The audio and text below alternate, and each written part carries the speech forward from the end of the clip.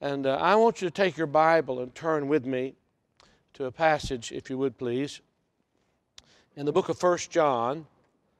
And we'll look at something that I hope will help you. I want you to hold your Bible open to 1 John chapter 3 and then turn back to John chapter 17. The gospel according to John chapter 17. There's one gospel, not three gospels. So there's a gospel according to the gospel record, according to Matthew, according to Mark, according to Luke, according to John. So John is the same human author, human penman, we might more appropriately say, who wrote 1st, 2nd, and 3rd John, the book of the Revelation, and the Gospel according to John. That's five books, which you're well aware of, I'm sure. And uh, let's try to sit up with a, a right angle on your back. It's all good for you that way, so you can breathe properly and uh, move forward. How about it? Very good. Now, when Jesus was praying what we call the high priestly prayer in John chapter 17, I want you to notice the first three verses. Then we'll go to 1 John. In John chapter 17, the Bible says, These words spake Jesus, and lifted up his eyes to heaven, and said, Father, the hour is come. Glorify thy Son, that thy Son also may glorify thee. As thou hast given him power over all flesh, that he should give eternal life to as many as thou hast given him. Now, notice he brings up the subject of eternal life in verse 2 here, as he's praying, as he begins his prayer, and the fact that God gives eternal life. All right? I'm trying, I've tried three times to wear this kind of glasses. Now I'm trying, this is the, my third attempt. And so you pray that I'll be patient enough to learn how to do this.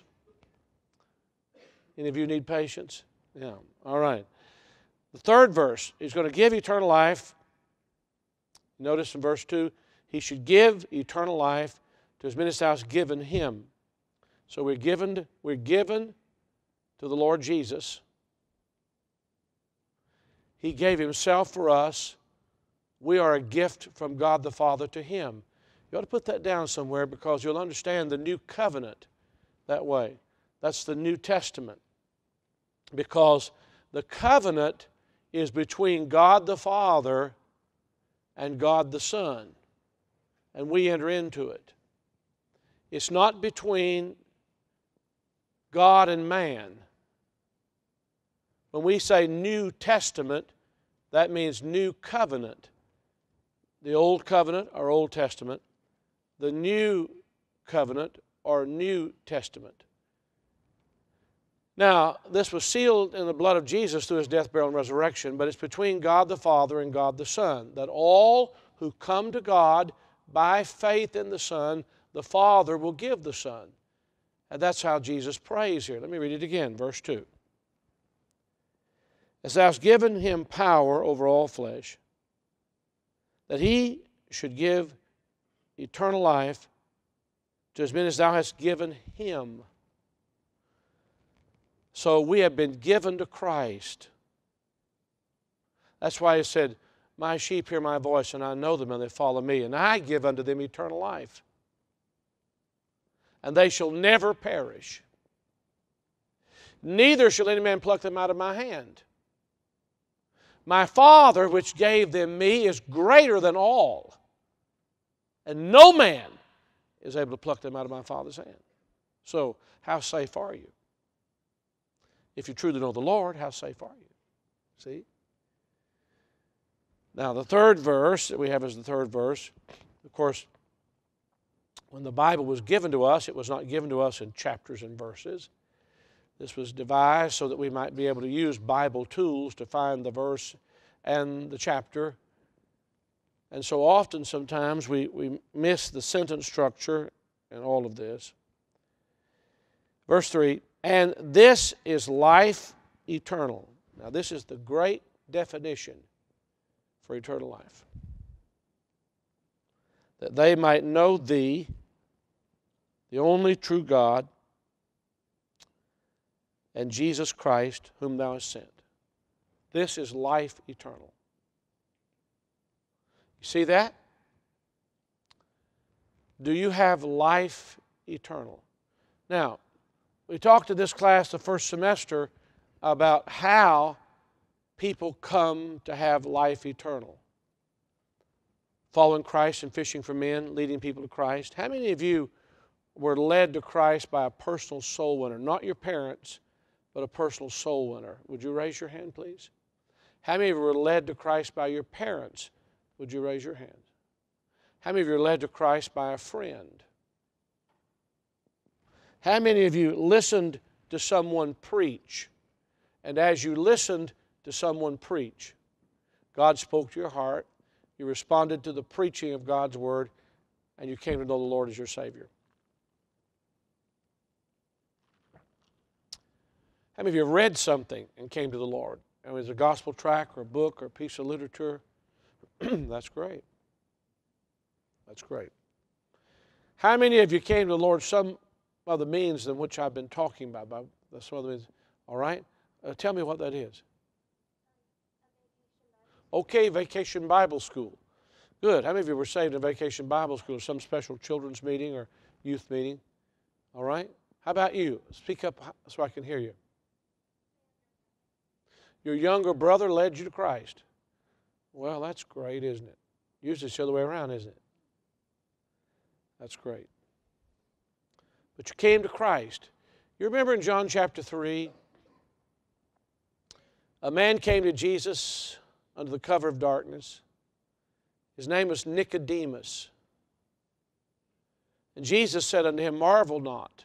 So he, he understands that this man is going to be sort of shocked by what he's going to say.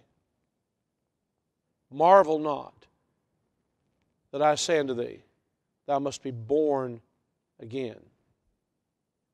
See, we're dead in our trespasses and sins, Ephesians 2 1. And you hath he quickened who were dead in trespasses and sins. Now, a dead man can't make himself come back to life, can he? That's why salvation is of the Lord. It's not just a conversation you have with people and they talk to you about the Lord and you say, well, they convinced me. Well, the Holy Spirit has to do a work in your heart. You ever doubt that? I did. How many of you ever doubted and you wondered, I got to get this straight? Got confused or didn't get real assurance? Or, would you lift your hands? Good. It sort of helps you to say, I did, right? I noticed a while ago when I said, How many of you ever doubted? No, there was no response. And I said, I did. Then half the room raises his or her hand. You know? But I, I was led to Christ, and then I followed the Lord in baptism, but I did not live the Christian life as I should have lived it. As a matter of fact, it was about 18 months of my life as a teenager. I came to Christ uh, shortly before my 14th uh, birthday. But I did not live the Christian life from that point on like I should have lived it. There was about an 18 month break in there. I didn't lose salvation, but I just got with the wrong crowd. They weren't church going. Nobody else in my house went to church, you know. I didn't get bored with it. Matter of fact, the Lord wouldn't leave me alone. God just kept dealing with my heart about things. Has the Lord ever dealt with your heart about something when you were like sort of fleeing from God or from what God wanted? Has He? And He troubles you? Look, please, that's, that's evidence that you're a Christian. If you can go on that way and never be troubled, never think about it, you think the devil would trouble you? I mean, he wants you to go to hell anyway, so why is he going to try to shake you up about whether or not you're saved? Right? That's not going to happen. So he has a different mode of operation. All right? God dealt with me because I was a possessor of something or someone. This is life eternal that we might know Him, the only true God. So He came to live in me. We are present possessors of eternal life if we know Jesus as Savior. Now, here's what this course, as we call it, this course is about. And uh, here, here's what I want you to write down it is about living eternal life now. Living eternal life now.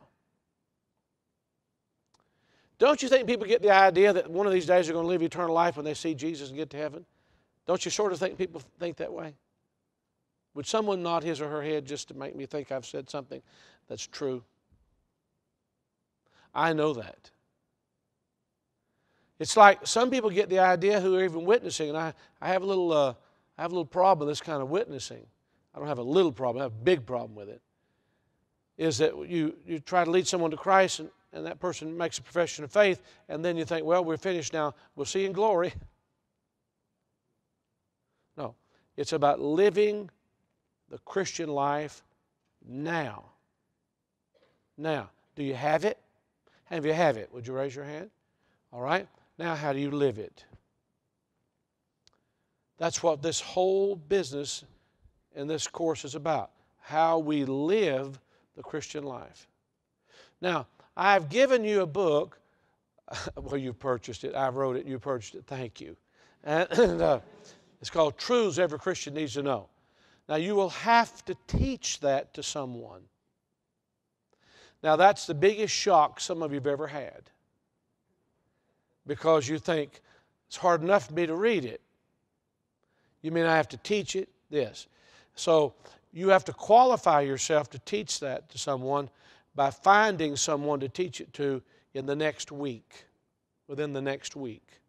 How many of you think you understand clearly what I said just now, whether you do it or not? Would you raise your hand? Good. That's good. I'm going to tell you why in just a moment because I, I want you to really get it, okay? Then I gave you, excuse me, you purchased a book. And it is a, a biography of a great man that God used in a wonderful way.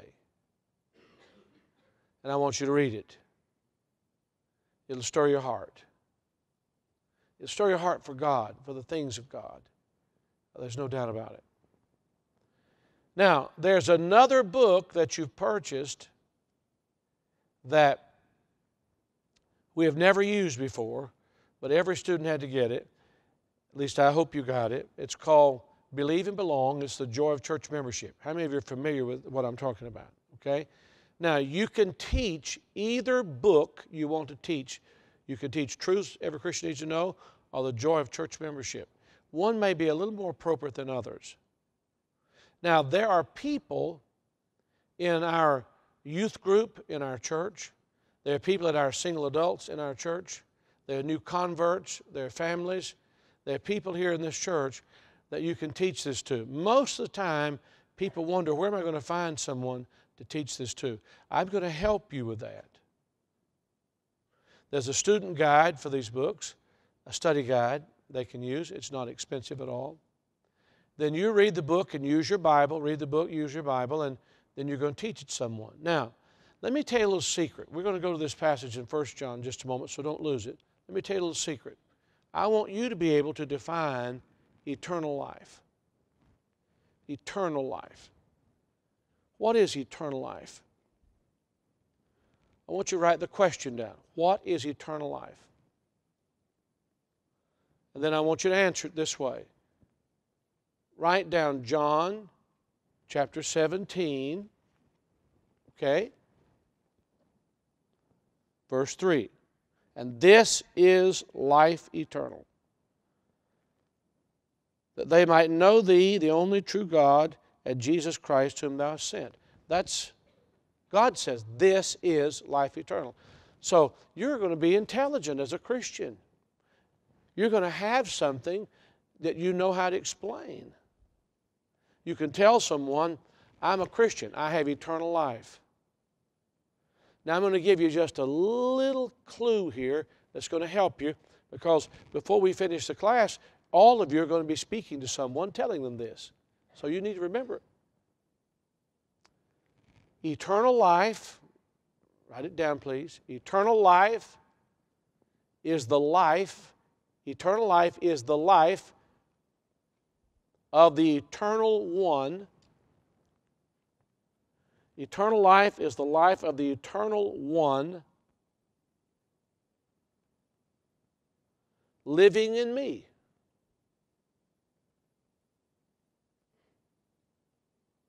Eternal life is the life of the eternal one living in me. Let's say that together. I want all of your beautiful faces to be operating here, okay? Some of you know exactly when I'm looking at you, don't you? All right, here we go. Eternal life is the life of the eternal one living in me. Let's say it just the fellas. Eternal life is the life of. All right, ladies. Eternal life. All right. Who is the eternal one? God. That's good. The Lord Jesus Christ, the Savior. We're going to talk about God the Father, God the Son, and God the Holy Spirit. I want you to write this expression down the Godhead, God the Father, God the Son, God the Holy Spirit.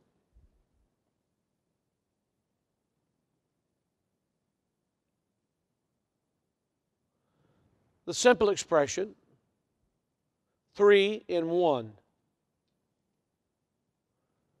When we get to heaven, we're not going to see three gods.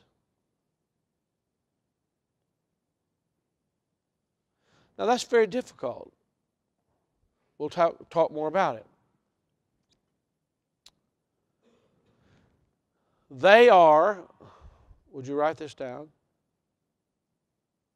They are coexistent. They exist together. They are co equal. One is not greater than the other. Coexistent, co equal. They are eternally existent.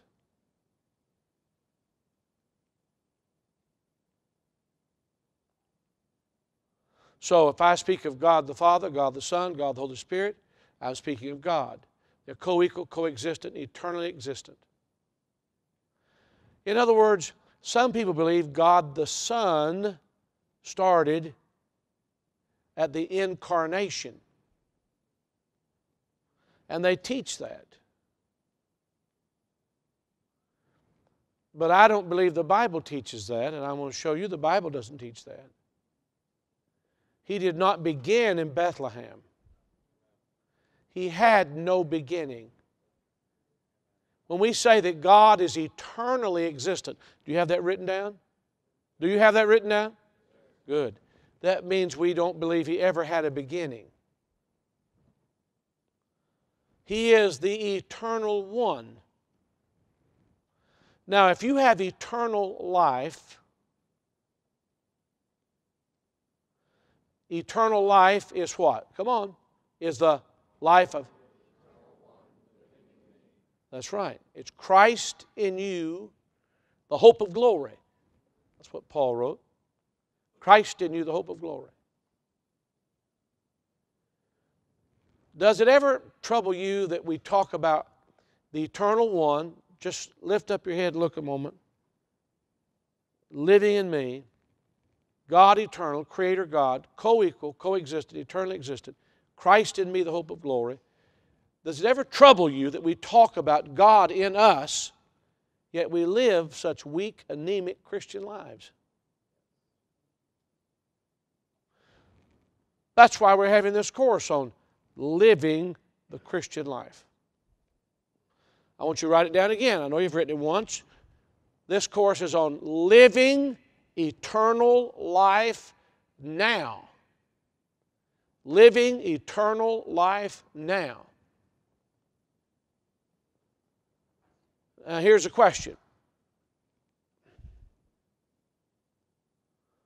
Write it down, please. When do I receive eternal life? When do I receive eternal life? You're asking this of yourself. When do I receive eternal life? Answer. You want to write down answer? When I receive the eternal one. I receive eternal life when I receive the eternal one. Oh, I'm having a good time talking about this. I hope you're having a good time listening to this. Because you need to talk to people about this. You need to talk to people about this, and you're going to talk to people about this, or you're not going to pass the course. so, isn't that good? All right, so write this down, please. Eternal life, eternal life is the present possession. The eternal life, eternal life is the present possession of every Christian.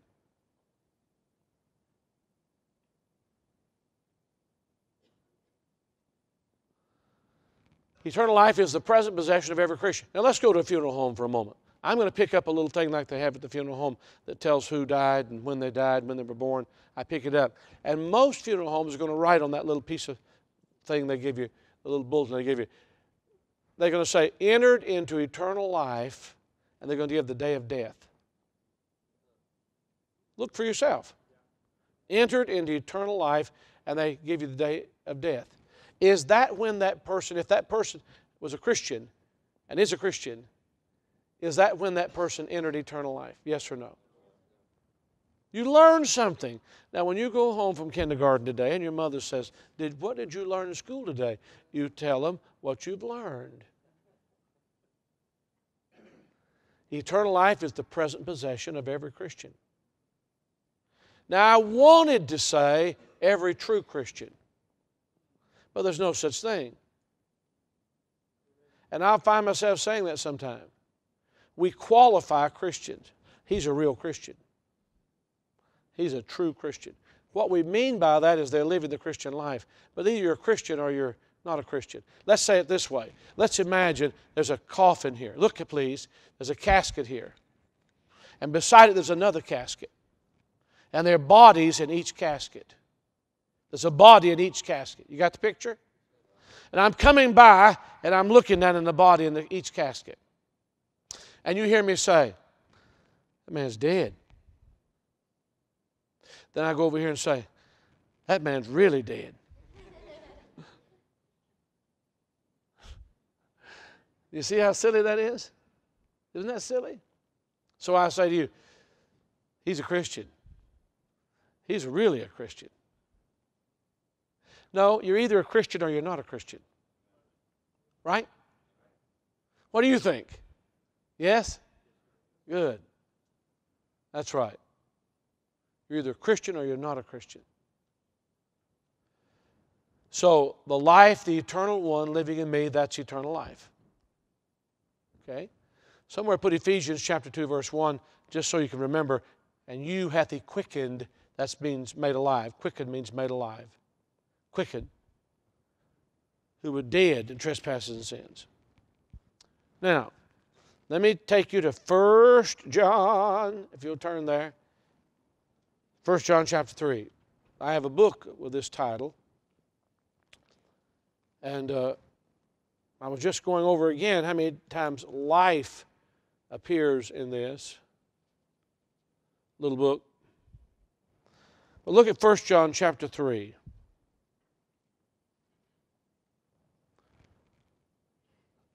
And let's look at verse 14. We know, that's a great word, isn't it? We know. What if it said, we think, we imagine, we feel like? You know, that's right.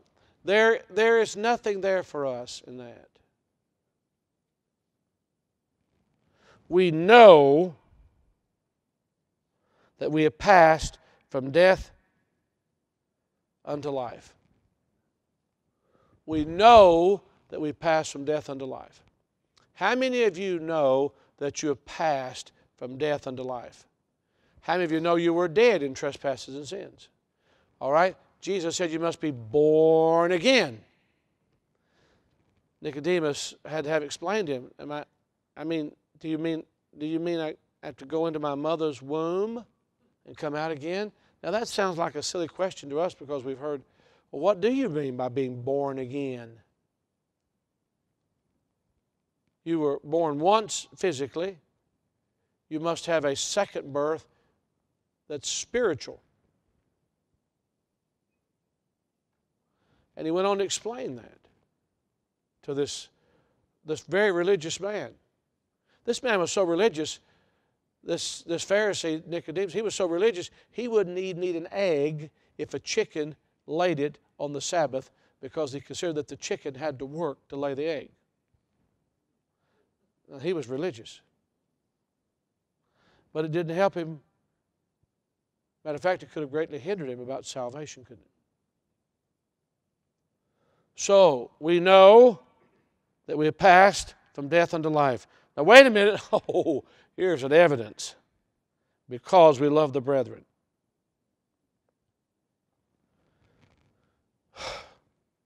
He that loveth not his brother abideth in death. In other words, you're still dead.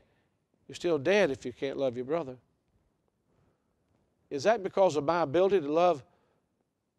And we're talking about others in, in the Lord here. Is that because of my ability to love that person? Or, the, or because, look, please, look, look, look, look, look, look, or because of the eternal one living in me, enabling me to love that person? Let me ask you something. What does the Bible say in John 3:16? Let's just start it, don't finish it. For God wonderful. Who lives in you? God. All right? God the Holy Spirit, but He's co equal, coexistent, eternally existent with God the Father, God the Son. We're speaking truly of God when we say the Holy Spirit. All right? If He lives in you, does God love that person? Can God love that person through you? Yes. And so it's an evidence that you're a Christian. It's an evidence that you're a Christian. What did Jesus say about those who even crucified him?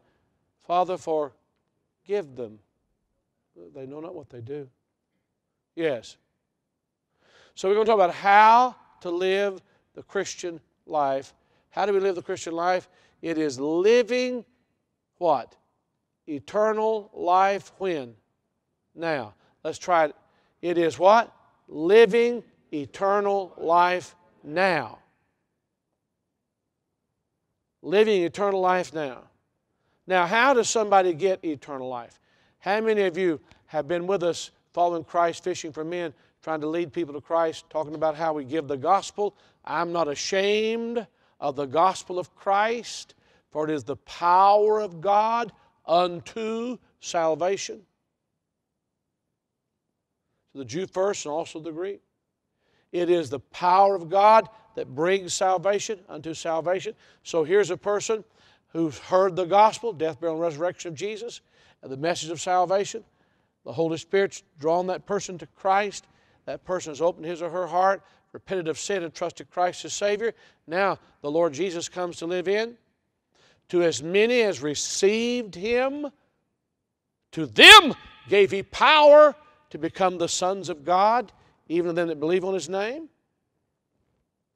So, it's a child of God now? He's a child of God? Yes.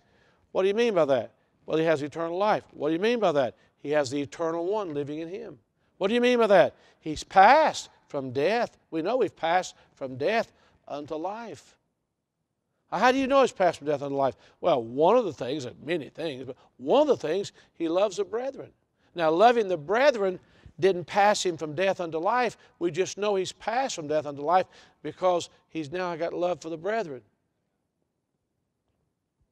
That's just one of the things. How many of you are still with me? Good, good. Well, praise God. living eternal life now.